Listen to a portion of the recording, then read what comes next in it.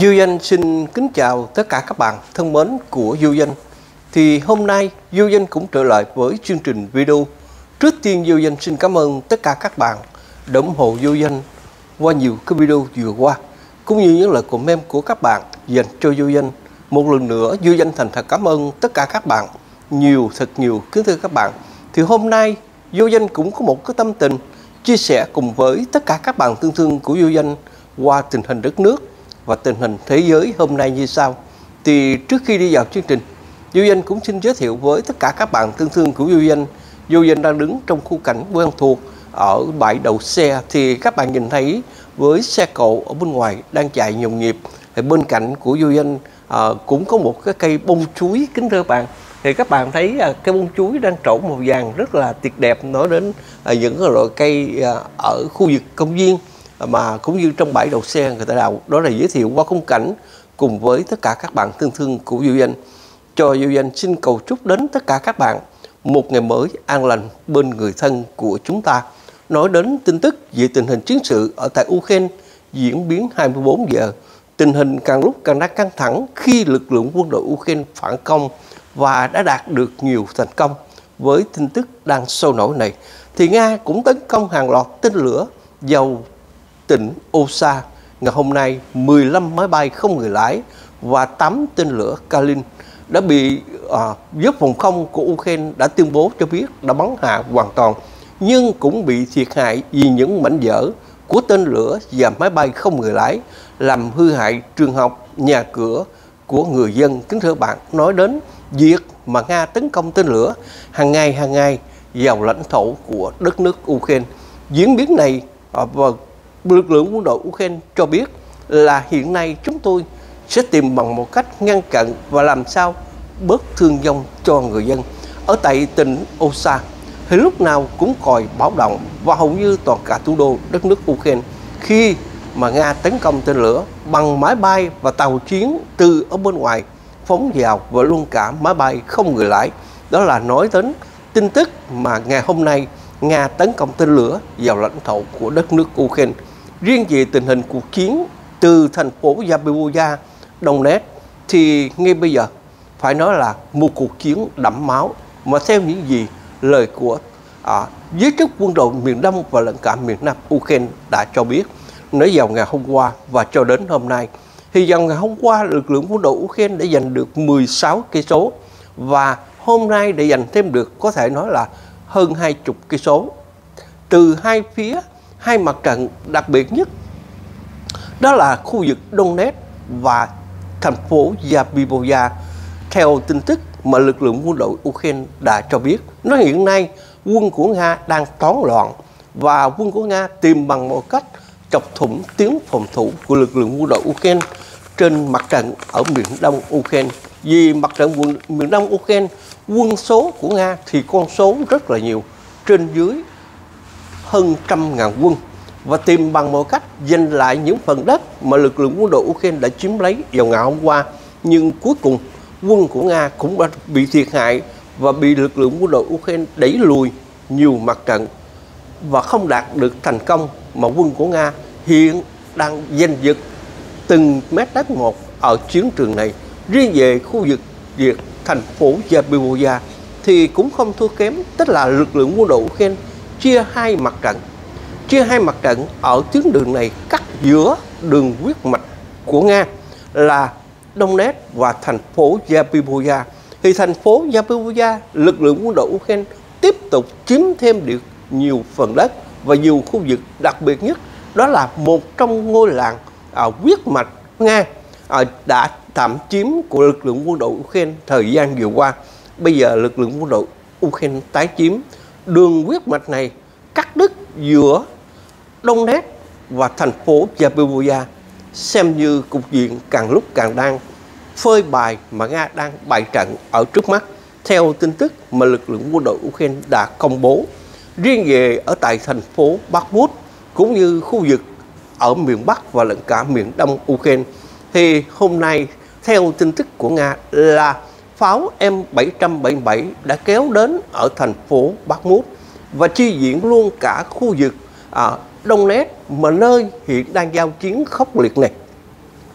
với loại đạn chùm của lực lượng quân đội Ukraine là một trong loại đạn pháo Hoa Kỳ hỗ trợ đã bắn trúng ngay mục tiêu xe của Nga và nhiều vị trí khác Nga thảm bại à, hai ngày nay ở chiến trường này đó là nói đến về tình hình ở, ở vùng Đông Bắc rút găng kính thưa bạn. Thì từ Đông Nét rút găng và dẫn đến à, giữa hai tỉnh nối giáp với nhau thành phố Zaporizhia và luôn cả Đông Nét không xa mấy. Hai bên cách xa nhau khoảng từ 120 cây trở lại. Lực lượng quân đội Ukraine chọc thủng tiếng phòng thủ ngay kẻ giữa này và chia hai mũi tấn công hai bên. Đó là một trong tin tức đang sôi nổi về lực lượng quân đội Ukraine đã cho biết nhưng riêng về nói tin tức thiệt hại của Nga hiện tại chưa có tin tức báo cáo. Nhưng lực lượng quân đội Ukraine đã giành được thêm 4 năm cây số trong một ngày. Hôm nay kính thưa bạn đó là tin tức đặc biệt về à, ở Donetsk và Lúc rằng riêng về tỉnh Cà Son thì hãy nói là không thua kém với mấy ngày hôm nay thì đột nhiên một đại tá à, trung đoàn trưởng của trung đoàn 47 quân của Nga đã đầu hàng mà lực lượng quân đội Ukraine đã bắt giữ và ông hôm nay ông lại là người để tiếp tay với lực lượng quân đội Ukraine à, vẽ bản đồ chỉ điểm những cứ điểm, những hậu cứ và bộ chỉ huy của quân Nga.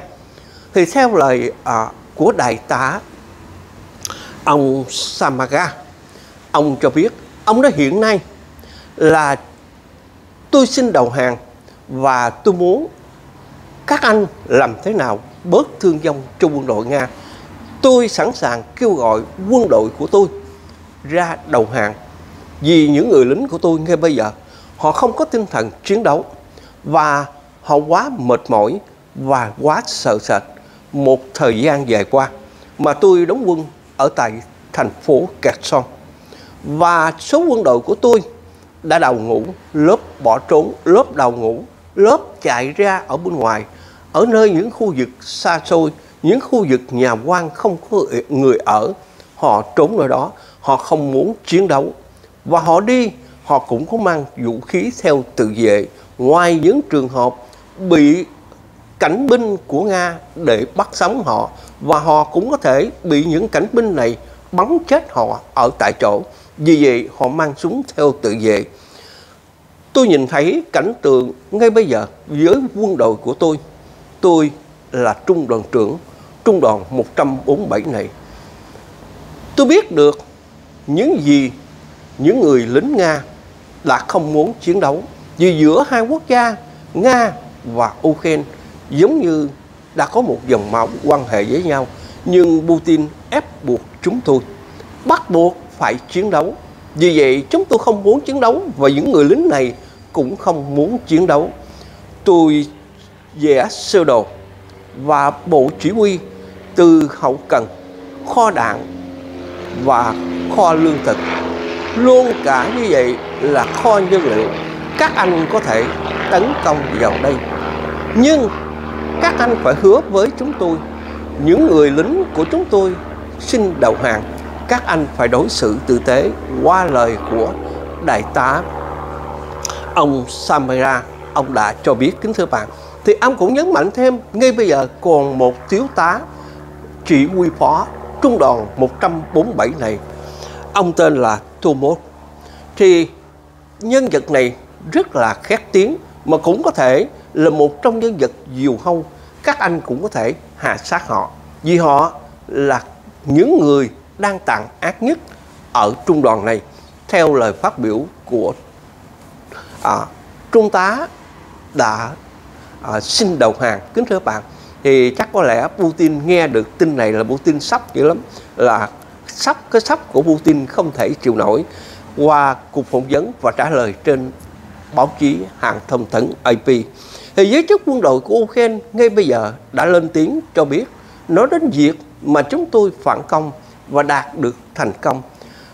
Hiện nay đó là tiếng phòng thủ của Nga đầu tiên ở thành phố Zaporizhia thuộc tỉnh lỵ này chúng tôi đã chọc thủng và nhờ sự hỗ trợ của đại tá à, trung đoàn trưởng của trung đoàn 147 hướng dẫn đường để lách léo qua khỏi bãi miền cũng như những đơn vị đặc công đã đi đúng mục tiêu và đã gỡ miền được những đoạn đường dài ở thành phố Zabiboya và tỉnh Kẻ Son chúng tôi sẽ tiếp tục phản công theo tin tức hôm nay, thì giới chức quân đội của Ukraine đã cho biết nói đơn vị đặc nhiệm của chúng tôi đã tiến sâu vào ở tỉnh Kẹt Son và không có bị cản trở hiện tại chưa có chạm súng, nhưng đây là ở bên ngoài, chưa phải là đi vào ở trong chuyến tiến, kính thưa bạn, vì qua được những bãi mìn theo lời hướng dẫn của đại tá này thì tình hình hiện nay tỉnh Kherson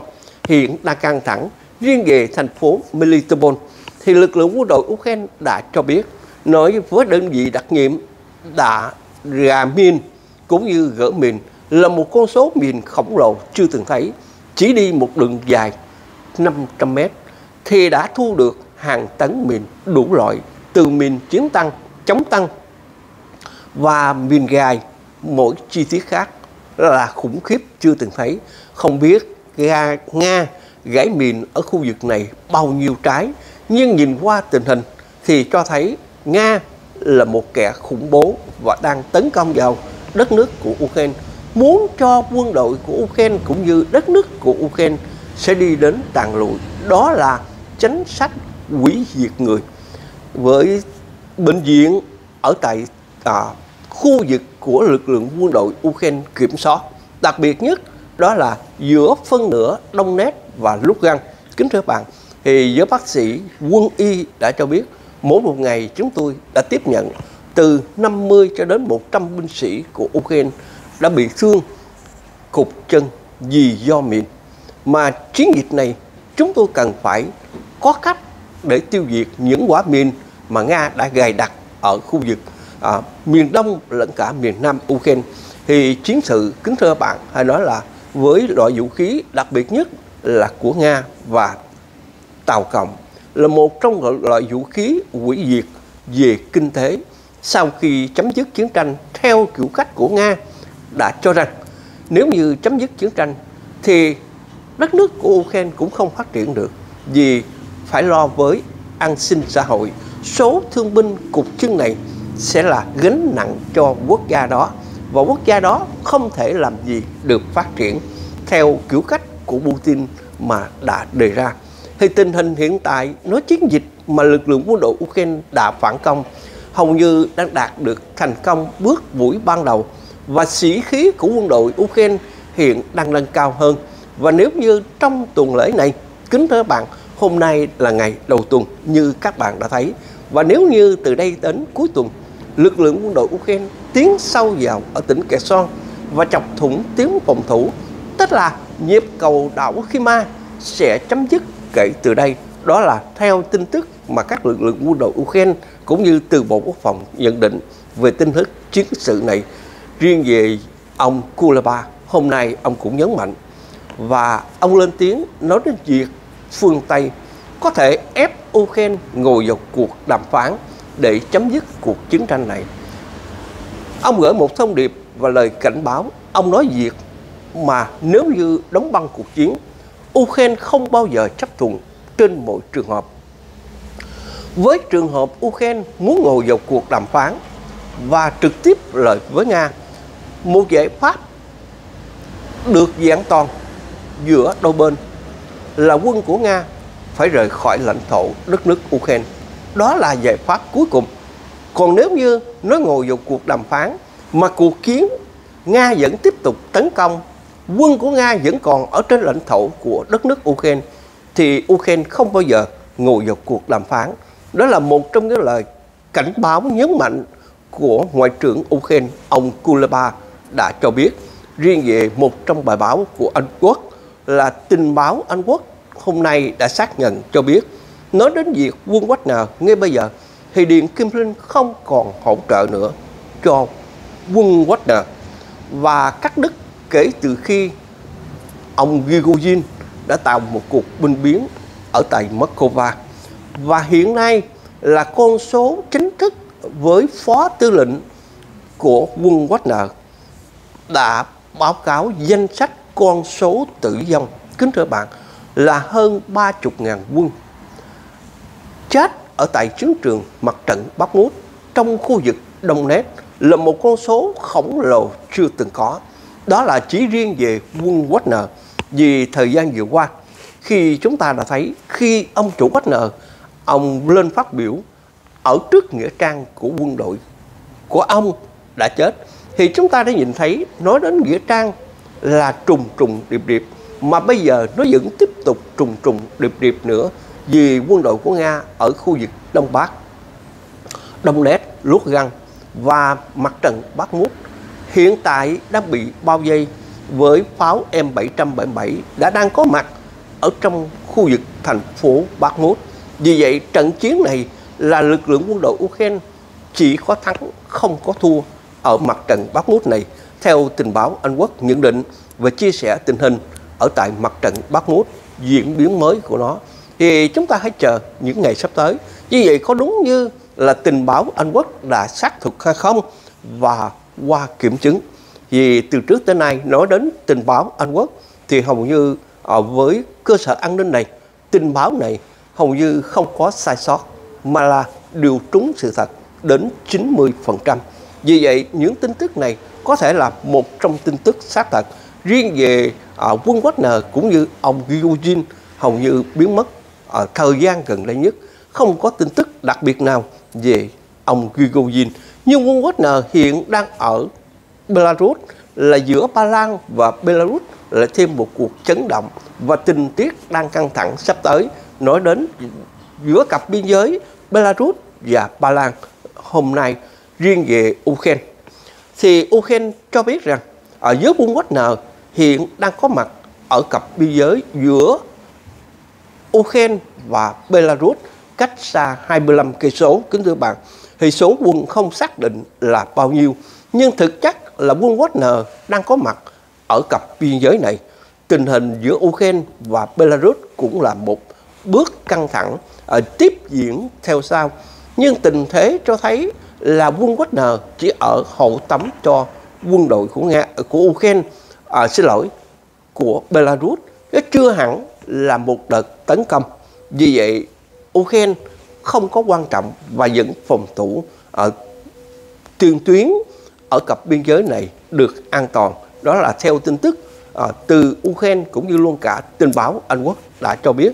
Thì nói đến về tình hình chiến sự mà lực lượng quân đội Ukraine là trong vòng một tuần lễ vừa qua cho đến nay đã đạt hơn 20 cây số là một trong cái đạt thành công nhất à, cho sĩ khí của lực lượng quân đội Ukraine. Kính thưa bạn riêng về à, ở tại động Khima cũng như khu vực tỉnh Kherson mà lực lượng quân đội Ukraine hiện đang phản công và tra trộn lọt vào ở bên trong với đơn vị trinh sát thì theo tin tức mà lực lượng quân đội Ukraine cho biết là với đội quân đặc nhiệm này đã vào bên trong nhưng không không nói là con số là bao nhiêu cũng như ở khu vực nào. Thì chúng ta hãy chờ xem nghĩa là một cuộc chiến bùng nổ ra à, vào ngày 24 tháng 8 tới đây. Hôm nay đã là ngày 15 16 kính thưa bạn. Chỉ còn mấy ngày nữa thì bắt đầu chính thức vào một cuộc phản công. Chúng ta hãy chờ xem ở tin tức từ Ukraine và lực lượng quân đội Ukraine đạt được thành công mục tiêu nào. Đó là tin tức đặc biệt về Ukraine. Thì chúng ta cũng quay trở lại tin tức Nga à, với lời của Bộ trưởng Bộ Phòng của Nga đã công bố cho biết là tin mà Nga đã chiến thắng ở tại Donetsk và lúc găng cũng như à, đẩy lùi được quân đội của Ukraine nhiều mặt trận. Và sự thiệt hại của quân đội Ukraine à, tính trên con con số trong 24 giờ có thể trên dưới hơn 300 quân và phá hủy à, hàng chục xe tăng và à, xe bọc thép cũng như xe chuyển quân ở trong con số này gồm chung lại là khoảng 10 chiếc theo Bộ trưởng Bộ Phòng của Nga đã cho biết. Nhưng ông không nói là quân của Nga đã thất bại bị lực lượng quân đội Ukraine chọc thủng ở thành phố tỉnh lỵ này và những thị trấn mà bị cắt đường chi diện à, từ Đông Nét lúc găng cho đến Zabivoya bị cắt đứt hoàn toàn. Ông không nêu ra chi tiết và điều đặc biệt hơn nữa, ông cũng lên tiếng cho biết nói đến việc mà từ Ukraine lẫn cả châu Âu và thế giới đang phản đối Putin về việc tàu chiến bắn tàu chở hàng ở Biển Đen thì ông Sukhoi cho rằng hiện nay ở khu vực này là dùng biển chiến tranh. Vì vậy chúng tôi đã thông báo nhiều lần với tất cả các tàu dân sự, tàu chở hàng mà lọt vào vùng biển. Đó là tầm ngắm của quân đội bắt buộc quân đội phải nổ súng. Vì máy trả đuôi không có thấy không biết được chiếc tàu nào là chiếc tàu hàng hay là chiếc tàu quân sự. À, mà nga đổ lỗi cho rằng những chiếc tàu này là tàu chở vũ khí để à, cung cấp cho Ukraine vì họ bắn. Họ bắn trước họ đến họ kiểm soát sau là cái kiểu cách là bắn phủ đầu hù dọa kính thưa các bạn nhưng những chiếc tàu này là những chiếc tàu chở muối dần dần đi về hướng ở cảng Osa của đất nước Ukraine hiện hai bên đang đóng băng và từ Thổ Nhĩ Kỳ cho đến châu Âu và Hoa Kỳ Liên Hợp Quốc đang tố cáo Nga là một hành động khủng bố bắn vào các tàu chở hàng ở khu vực Biển Đen. Nga thì không có biển. Trước kia kính thưa bạn, sau khi xâm lăng vào lãnh thổ của đất nước Ukraine ở đảo Kima thì Nga lấy đảo Kima, Nga có một vùng biển này. Còn trước kia Nga chỉ có bờ biển nhưng không có bờ ra vì cửa biển chính là do Thổ Nhĩ Kỳ đã kiểm soát. Vì vậy bây giờ Nga đang tố cáo ngược lại là những chiếc tàu chở hàng đến Ukraine là những chiếc tàu chở vũ khí để giúp đỡ cho Ukraine. Vì vậy Nga được quyền bắn à, tình hình biển đen càng lúc càng đang dậy sóng và sự căng thẳng của nó khốc liệt chưa từng có.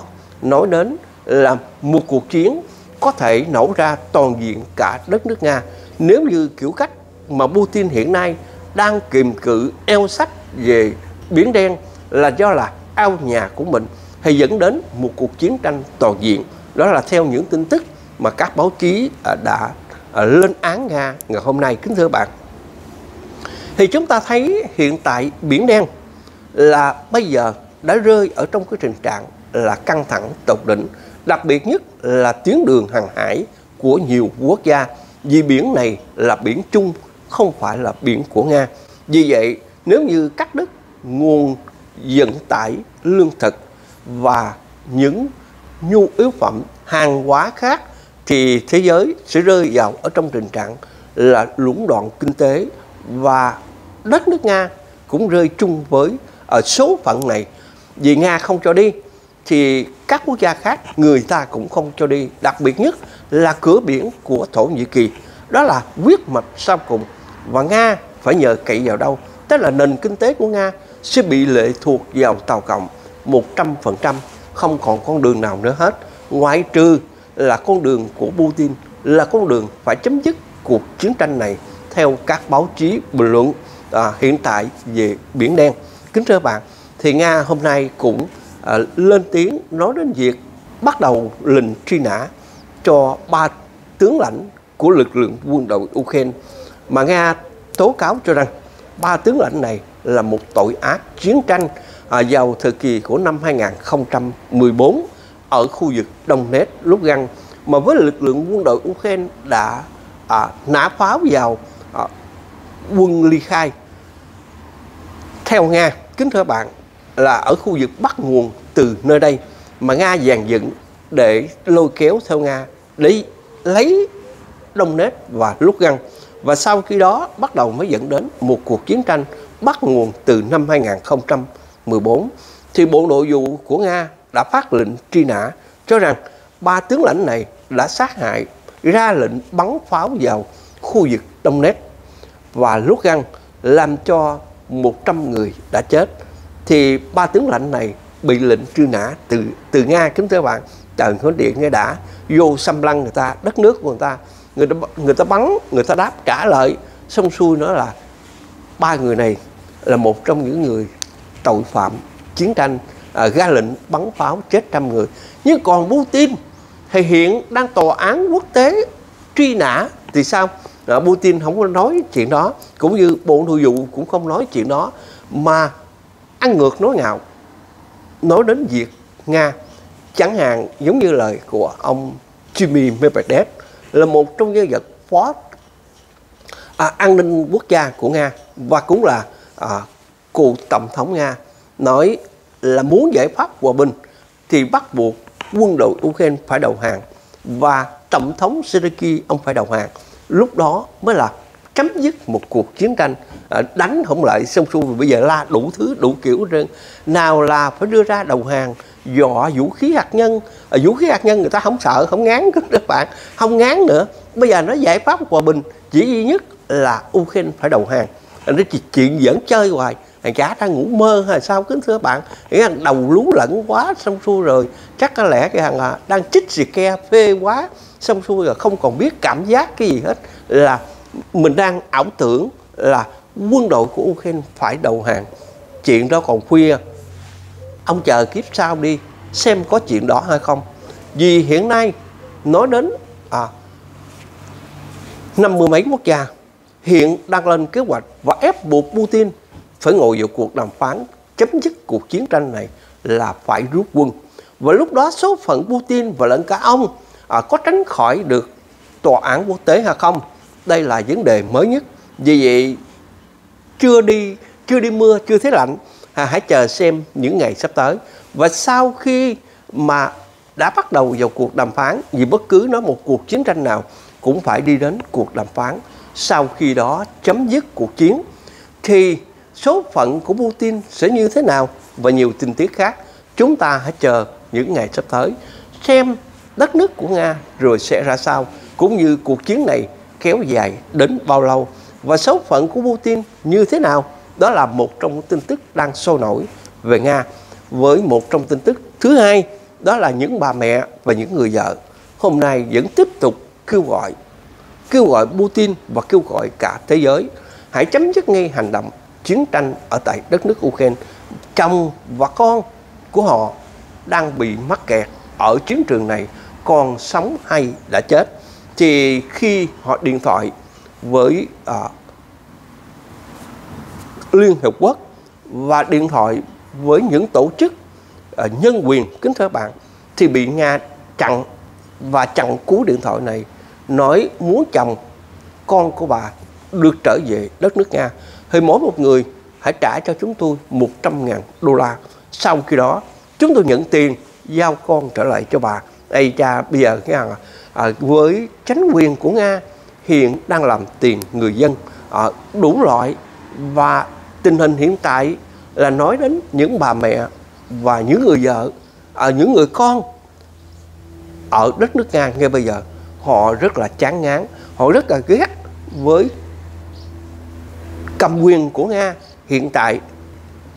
Vì vậy, với mấy ngày nay, nói ở đất nước Nga là tình hình đất nước Nga đang lộn xộn, đặc biệt nhất là với những người già lớn tuổi. Họ vẫn biểu tình, mang biểu ngữ cô đơn một mình ở ngoài và biểu tự, biểu ngữ chống Putin về cuộc chiến tranh ở tại đất nước Ukraine.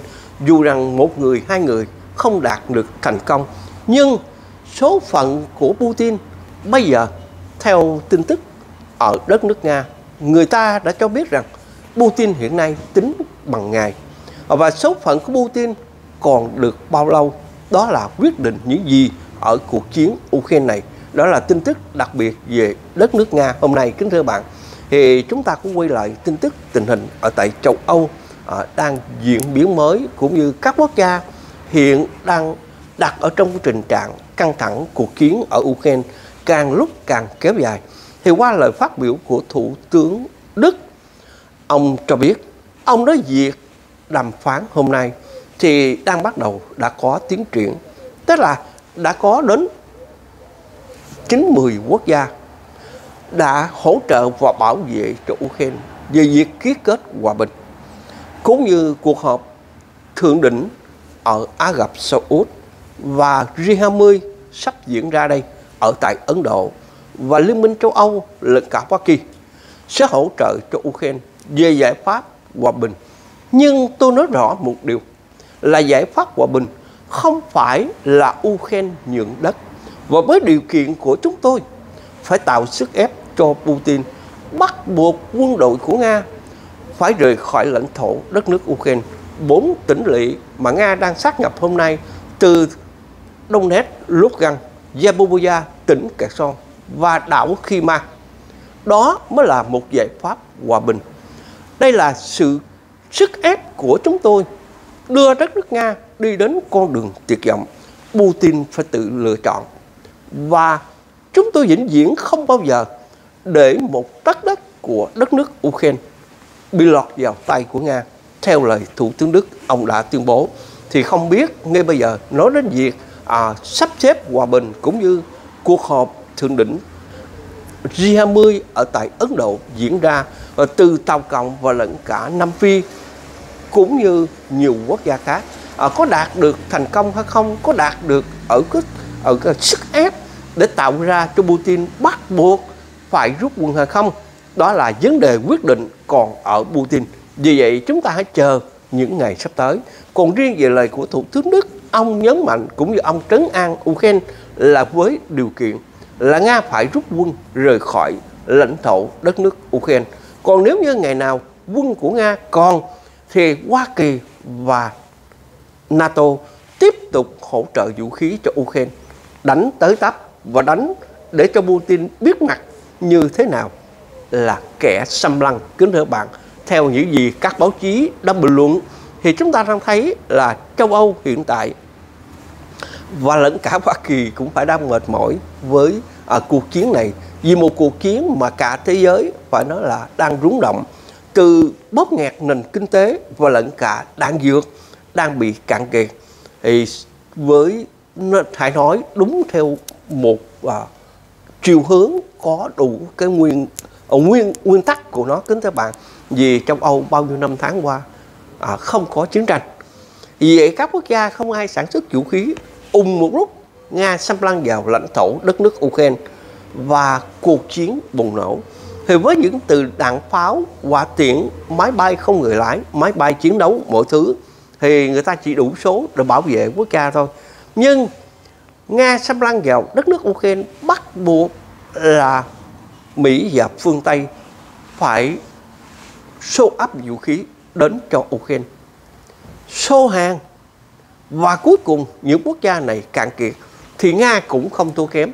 Tức là kho dự trữ vũ khí của Nga vào thời kỳ chiến tranh lạnh đã không còn nữa, đã hết rồi. Nga cũng phải chết đứng chuyện bờ. Vì vậy người ta mới nói là nay giặt móng, chó lại lưỡi ở cuộc chiến này. Và vũ khí ngày hôm nay bắt đầu đã thay đổi cục diện, thay đổi cuộc chơi, càng lúc càng hiện đại hơn. Mà ngay bây giờ các bạn đã thấy nói đến lực lượng quân đội Ukraine hiện đang làm chủ bầu trời và lẫn cả vùng biển với 3-4 ngày nay.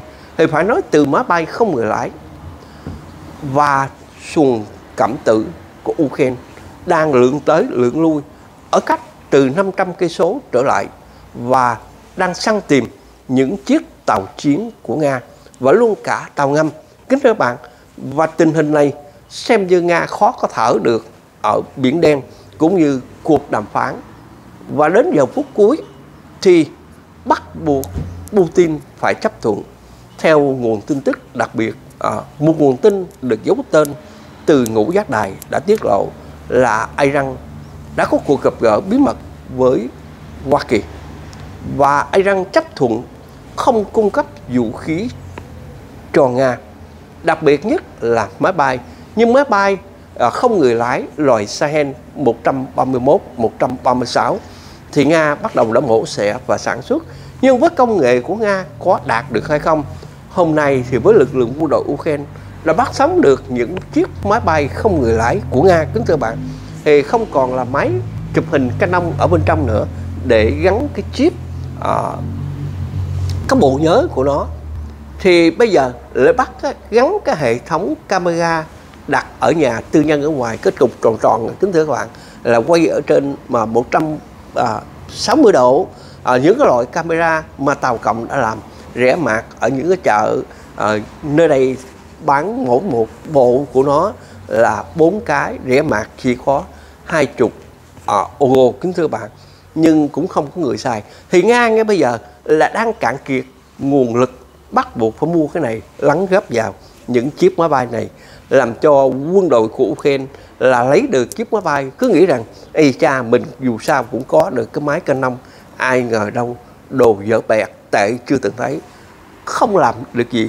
Thì chứng tỏ cho thấy nó nguồn lực về vũ khí của Nga cũng như tài chính Nga đang cạn kiệt. Bắt buộc Nga phải sử dụng đến những loại này.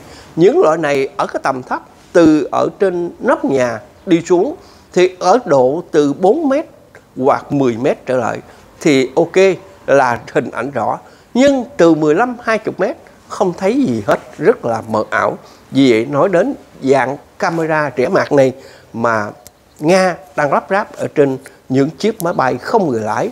Từ máy bay không người lái cảm tứ và luôn cả máy bay trinh sát không người lái của Nga. Đó là tin tức đặc biệt về giới chức châu Âu đã nhận định và à, bắt được những tin tức nguồn đặc biệt của Nga. Kính thưa bạn thì chúng ta cũng quay trở lại tin tức ở Tàu Cộng và luôn cả khu vực châu Á của chúng ta đang một diễn biến mới. Và tình hình ở đất nước Tàu Cộng thì những chuyện lạ càng lúc càng nhiều. À, người dân Trung Quốc hiện đang lo lắng không biết chuyện gì đến đất nước Tàu Cộng. Vào ngày hôm qua thì vào lúc buổi tối khoảng 10 giờ đêm nói đến bắt đầu xuất hiện những con chim phát ánh sáng thì những con chim này đang rong rú khắp ở bầu trời của Hắc Long Giang, đặc biệt nhất ở trong tỉnh lỵ và những cảng của Hắc Long Giang. Thì một trong các loại chim này cũng có thể giống như là hải âu, kính thưa bạn. Thì ban đêm, vào khoảng 9 10 giờ đêm trời tối đen như mực, nhưng những con chim này bay phát ánh sáng giống như Reminer và tạo nên một khung cảnh rất là đặc biệt. Và họ, người dân ở Hắc Long Giang quay những cảnh tượng, những con chim đang lạng lên lạng xuống ở mặt biển và kiếm thức ăn. Ban đầu người ta cứ nghĩ rằng đây là những chiếc máy bay không người lái, nhưng nếu như máy bay không người lái thì không thể bay cái theo kiểu cách giống như đàn chim. Đến khi những đàn chim này xuất hiện, những con những con chim đang la ó ở dưới mặt biển thì người ta mới xác định rằng đây là một trong những loại chim kỳ quái nhất mà trong đời của họ chưa bao giờ đã từng gặp. Có người sống ở đây là phải nói là từ tuổi trẻ cho đến tuổi 7 80 chưa bao giờ nhìn thấy được loài chim này là một trong loài chim đặc biệt. Lại cộng thêm ở tại Hà Bắc, nói đến những mạch nước đang bơm lên mà cả Hà Bắc phải nói là dựng tóc gáy. Mà nói chúng tôi không biết chuyện gì xảy ra. Những mạch nước phun trào lên đến hàng hai ba chục mét và một cảnh tượng tương tự giống như những khu công viên mà những dòi nước đặt máy để phun vào buổi trưa hay là buổi tối đặt ánh đèn để cho người dân tham quan và chiêm ngưỡng. Thì những dòi nước này đã phun không phải là một chỗ. Hiện nay trên dưới ở tại Hà Bắc kính thưa bạn trên dưới khoảng 100 à, dòi nước tự phun này mà người dân Trung Quốc mới là chúng tôi không biết được chuyện gì sắp đến. Và dòi nước đặc biệt hơn, phun có lúc lạnh và lúc nóng. Có khi nó nóng, không thể đến gần được, vì sức nóng của nó có thể hơn 100 độ và khói nghi ngút. Và có khi thì nó lạnh buốt, nó lạnh, phải nói là khi nó nó chảy ra ở khu vực tranh quanh thì nó đấm đá. Tức là mực nước hơi hiện tượng kỳ lạ ở tỉnh Hà Bắc nói đến sau khi cơn động đất và cơn lũ lụt thì rất là khủng khiếp. Nói đến việc lũ lụt thì Nga cũng bị ảnh hưởng về cơn bão Khanun. Kính thưa bạn, thì cơn bão Khanun này, Nga bị thiệt hại con số rất là nặng nề. Theo tin tức của Nga đã thông báo cho biết là hiện tại bị ngập lụt gần 5.000 căn nhà và phải di dời đến ba bốn chục ngàn dân. Và những khu vực ngập lụt theo hình ảnh à, từ của Nga đã công bố cho biết là đội cứu hộ đã đi cứu khắp nơi thì ngập hết từng một thậm chí những khu thấp thì đến từng hai và từng ba ở đất nước của Nga và bị ảnh hưởng về cơn bão Khanun mà không có một sự cứu hộ cứu trợ nào à, về lương thực cho người dân chỉ thấy người đưa đi di tản ở đến những nơi khác và họ đi phải gồng gánh mang theo nồi niêu để nấu ăn vì không có người hỗ trợ kính thưa bạn trước khi với lực lượng cứu hộ của Nga đến là di dời người dân rời khỏi những khu vực đặc biệt này, những khu ngập ngập lụt này thì đã thông báo cho người dân phải mang theo nồi niêu để chuẩn bị làm thức ăn vì họ không có lương thực để hỗ trợ. Đó là nói đến về à, sự ảnh hưởng cơn bão Khanun ở đất nước Nga. Thì đất nước Trung Quốc hiện tại ngay bây giờ nói đến cảnh tượng ngập lụt này rất là thê thảm cho uh, người dân Trung Quốc vẫn còn đang tiếp tục ảnh hưởng. Và cơn bão thứ ba đang đến ở Nhật Bản cơn bão La Lan. Thì cơn bão La Lan hiện đang đổ bộ vào Nhật Bản và cơn bão này sẽ tiếp tục đến Tàu Cộng với sức gió ở tại Nhật Bản thì là vào đất liền 200 km một giờ. Nhưng cơn bão này khi sang Tàu Cộng ngoài khơi thì chưa biết được bao nhiêu. Hiện tại ngay bây giờ Nhật Bản đang bị cơn bão à, La Lan hiện nay. Đó là nói đến về tình hình à, bão tố ở Nhật Bản. Kính thưa bạn thì một trong tin tức bí mật mà Hoa Kỳ đã thông báo cho biết nó hiện nay quân đội của Tàu Cộng hiện đang hung hăng và sự đe dọa đến lực lượng của Hoa Kỳ càng lúc càng mạnh hơn. Trong 10 ngày nay, Tập Cận Bình biến mất và Tập Cận Bình đang suy nghĩ gì mà khi Tập Cận Bình biến mất cho đến nay thì lực lượng quân đội của Tàu Cộng lại hung hăng đe dọa đến Hoa Kỳ. Có thể một cuộc chạm trán nổ súng với nhau bất cứ giờ phút nào ở Biển Đông, Thái Bình Dương theo lời tư lệnh Hải quân của Hoa Kỳ đã cho biết và lời thêm à, tiếng nói thêm của tư lệnh liên quân của Hoa Kỳ ông McClellan ông cảnh báo lợi giới quân đội Tàu Cộng và Hoa Kỳ. Quân đội của Hoa Kỳ hãy đặt ở trong cái tình trạng chiến đấu và sẵn sàng bảo vệ lợi ích của Hoa Kỳ ở Thái Bình Dương. Và nếu như Tàu Cộng muốn chạm trán một cuộc đụng độ quân sự ở trên Biển Đông thì chúng ta hãy sẵn sàng đối đầu. Đừng bao giờ né tránh. Nếu như né tránh hôm nay thì Tàu Cộng sẽ lớn nước thêm và ngày mai. Vì vậy nếu như ý đồ Tàu Cộng muốn chúng ta hãy sẵn sàng cho một cảm tráng này. Đó là theo lời tướng tướng lãnh của mặt cách Lê à, ông đã cho biết thì tình hình đất nước Tàu Cộng hiện tại là khi Tập Cận Bình đang phát động một cuộc chiến tranh sắp tới. Vì vậy là giới quân đội Tàu Cộng hiện tại đang hung hăng ở Biển Đông một cách đáng sợ chưa từng có. Đó là nói đến tin tức Tàu Cộng kính thưa bạn. Kim Jong Un hôm nay đã bắt đầu đi lái xe thử xe bọc thép và xe tăng. Và Kim Jong Un đã lên tiếng cho biết là chúng ta hãy chuẩn bị chiến tranh và quân đội của Bắc Triều Tiên hãy sản xuất hàng loạt tên lửa và lẫn cả xe tăng, xe bọc thép. Đó là nguyên tắc của chiến trường mà cuộc chiến tranh chúng ta cần phải giải phóng Nam Hàn trước mắt theo lời của Kim Jong Un đã tuyên bố. Thì không biết Kim Jong Un có ngứa miệng hay là à, đang bị kinh phong dịch hay sao không kiếm thưa các bạn. À, ông phát bừa phát bãi làm cho tình hình giữa Nam Hàn và Bắc Triều Tiên là bước thêm một sự căng thẳng nữa. Một bự một sự căng thẳng leo thang ở cấp tột đỉnh vì từ trước tới nay nói đến việc Kim Jong Un chưa bao giờ thúc đẩy quân đội của Bắc Triều Tiên là sản xuất vũ khí tăng tốc như hiện nay. Việc có hỗ trợ hai Nga hay không, hiện nay chúng ta chưa thấy dấu hiệu đó. Nhưng nếu nói đạn dược thì có thể còn xe tăng và xe bọc thép cũng như tên lửa thì đã chưa.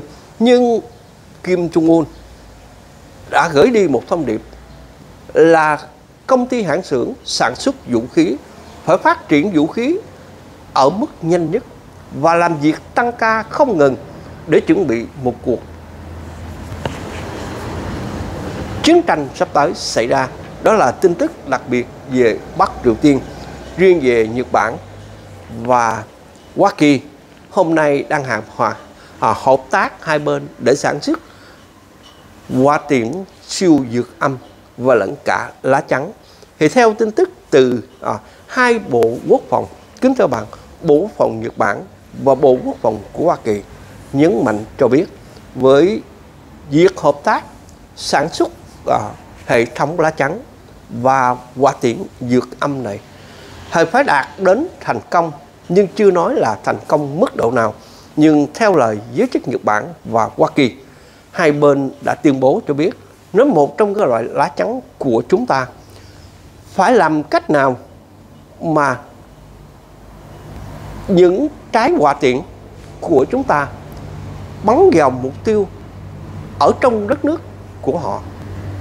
Khi họ đã lôi vũ khí ra và bắt đầu chuyển hướng để tấn công chúng ta, thì những trái hệ thống lá chắn, những trái quả tiễn này hãy đến trước khi mà rời khỏi lãnh thổ của họ, theo Nhật Bản và Hoa Kỳ đã công bố. Thì nếu như một trong các loại vũ khí mà Hoa Kỳ cũng như Nhật Bản sản xuất, thì mức dược âm của nó thì có thể nói là từ 20 mét tới 25 mét. Theo ước tính, chỉ có cách đó mới siêu dược âm và nhanh lẹ nhất khi tên lửa đạn đạo vũ khí hạt nhân đã phóng từ ở trong ngọn ra. Thì loại vũ khí này Hoa Kỳ và Nhật Bản cũng cho biết thêm. Nó hiện nay vũ khí này là chúng tôi đối đầu trực tiếp lời giới Trung Quốc, Bắc Triều Tiên và Nga một trong hệ thống lá chắn tối tân. Đó là tin tức đặc biệt về Nhật Bản kính thưa bạn.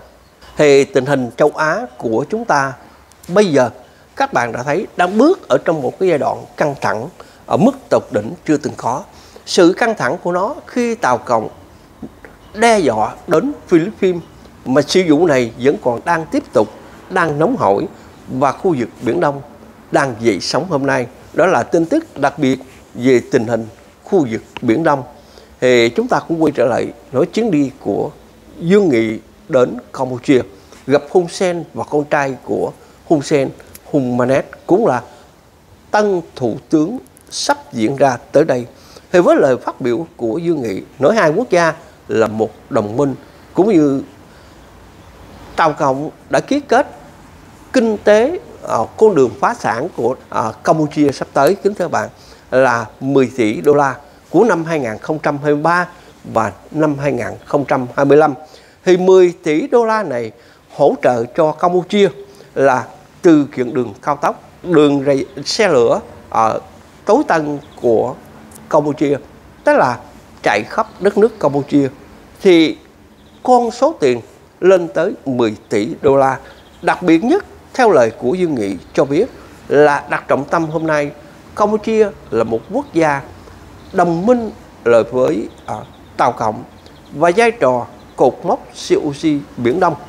À, Campuchia không có vùng biển trồng lẫn nhưng cũng là một khách quan trọng là một nhân chứng lãnh thổ của Tàu Cộng ở Biển Đông, khu vực Hoàng Sa, Trường Sa. Ăn cướp cũng có lý, ăn cướp cũng có chứng minh, cũng có người làm chứng kính thưa bạn là Campuchia hiện tại bây giờ. Thì đất nước Campuchia tương lai của nó à, như thế nào chúng ta không biết. Nhưng hiện tại ngay bây giờ nói đến cái số nợ mà Campuchia nợ Tàu Cộng thì trên dưới như vậy sơ sơ chúng ta có thể nói là ước tính khoảng 20 tỷ đô la. Đó là con số bỏ túi thì xem như là Campuchia là một phần lãnh thổ của Tàu Cộng tương lai sắp tới. Vì Hun Sen muốn một vai trò cho con của mình làm thủ tướng, bán đất nước của mình cho Tàu Cộng. Về mặt bên ngoài, về pháp lý, Campuchia có chính quyền, có quân đội. Nhưng thực chất bên trong tất cả là Tàu Cộng kiểm soát hoàn toàn. Kính thưa bạn, đó là nói đến chuyến đi của Dương Nghị gặp Hun Sen. Mà Hun Sen đã bán tổ quốc của mình cho Tàu Cộng. Đó là tin tức về tình hình ở tại đất nước Campuchia. Thì chúng ta cũng quay trở lại tin tức Việt Nam của chúng ta.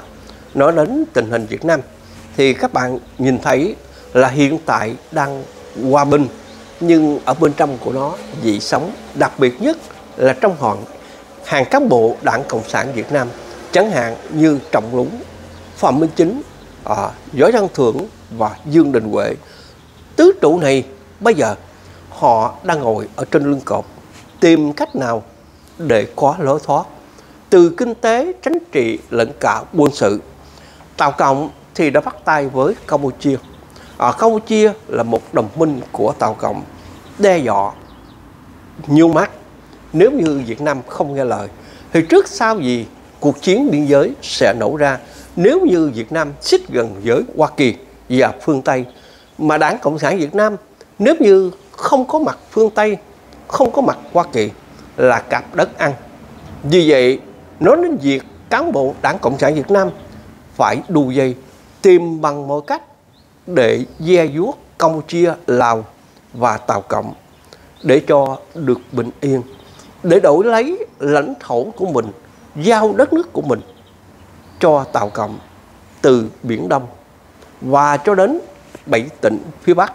Như các bạn đã biết ở trong nước thì công an và địa phương tiếp tục cướp đất người dân. Nhưng họ lại dân đất tổ quốc của mình cho Tàu Cộng ở Biển Đông, Hoàng Sa, Trường Sa và bảy tỉnh phía Bắc như các bạn đã thấy là Đảng Cộng sản Việt Nam chưa bao giờ dám mở miệng một lời nói nào về à, biển đảo của chúng ta không có ngon như Philippines.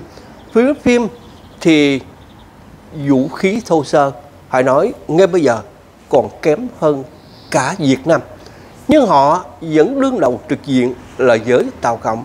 Nhưng Việt Nam thì không gặp Tàu Cộng Việt Nam phải một là tôi đến Trung Quốc cứ tưởng đây là mồ mã cha của mình ở nơi đó. Đặc biệt nhất là Phạm Minh Chính đã tuyên bố những lời nói đó.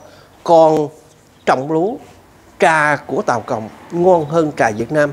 Vậy mà mấy cha đó vẫn ở ở trong nước mà không chạy qua Tàu Cộng để ở. Dọn nhà bên kia ở đi. Tại sao ở đây phải lên tiếng sự vụ này? Với ngay bây giờ, đất nước Việt Nam, sự độc hại của Tàu Cộng là đang phá hoại kinh tế và phá hoại luôn cả sức khỏe người dân của chúng ta.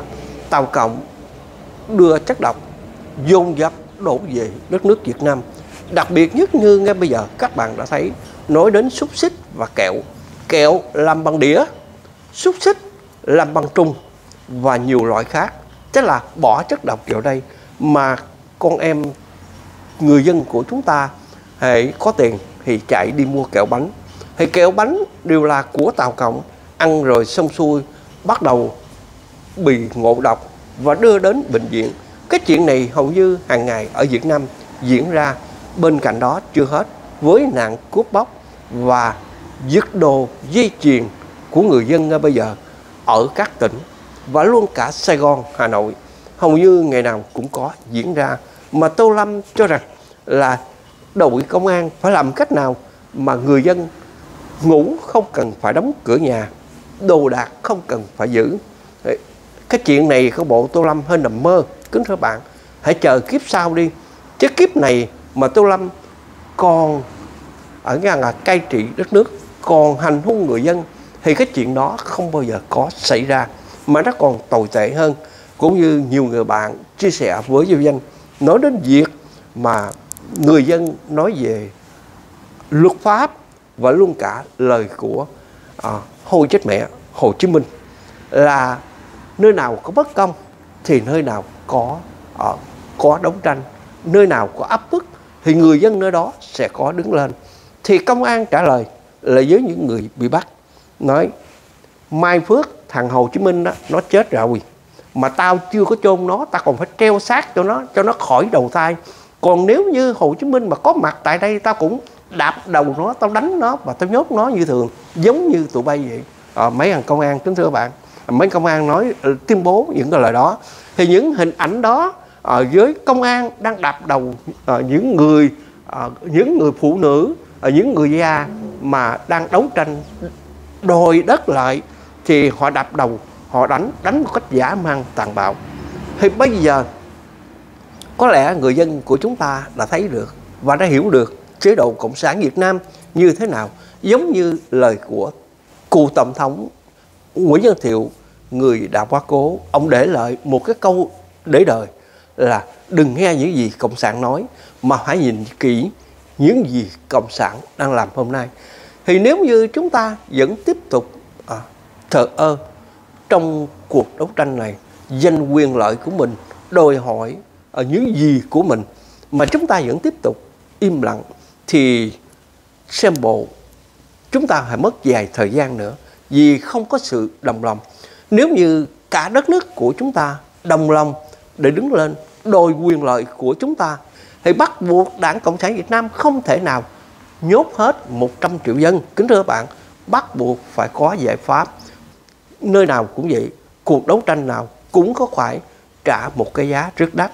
Đó là quyền lợi tự do của chúng ta dân thì vô danh hôm nay có bao nhiêu cái tâm tình, chia sẻ cùng với tất cả các bạn thân thương của vô danh. Vô danh xin kính chúc sức khỏe các bạn khỏe mạnh. Hẹn gặp nhau tại sài gòn.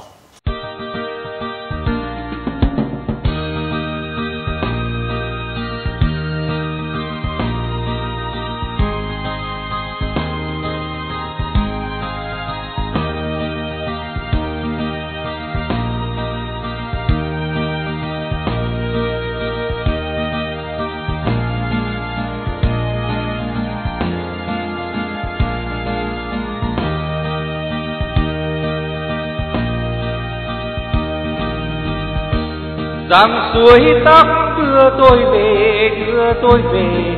Vùng quê xưa lúa vàng, có những dòng sông uốn lượn quanh. Có khói chiều buông trên mái tranh. Dòng nước mắt đưa tôi về, đưa tôi về. Vùng quê hương khô cằn, có những bờ đê, những ruộng khô, có những dòng du thơm chưa? Nào nề.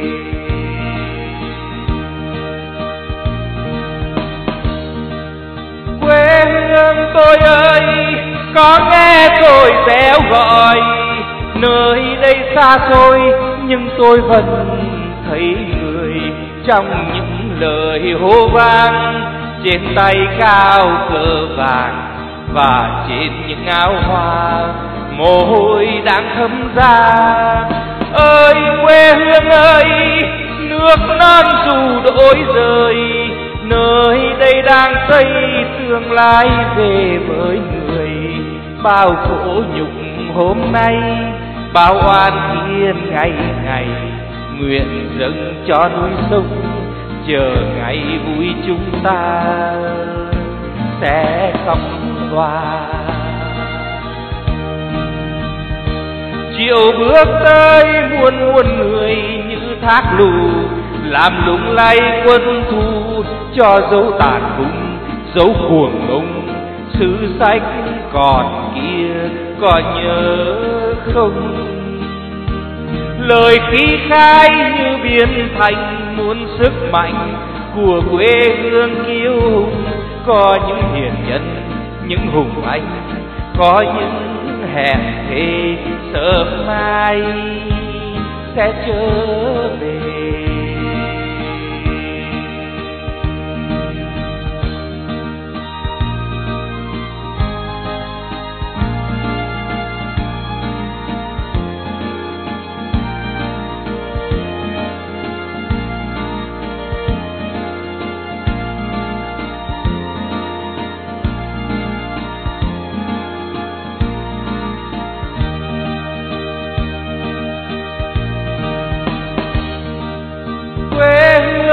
Tôi ơi, có nghe tôi réo gọi, nơi đây xa xôi nhưng tôi vẫn thấy người. Trong những lời hô vang, trên tay cao cờ vàng và trên những áo hoa, mồ hôi đang thấm ra. Ơi, quê hương ơi, nước non dù đổi rời, nơi đây đang xây tương lai về với người. Bao khổ nhục hôm nay, bao oan thiên ngày ngày. Nguyện dâng cho núi sông, chờ ngày vui chúng ta. Sẽ khóc hòa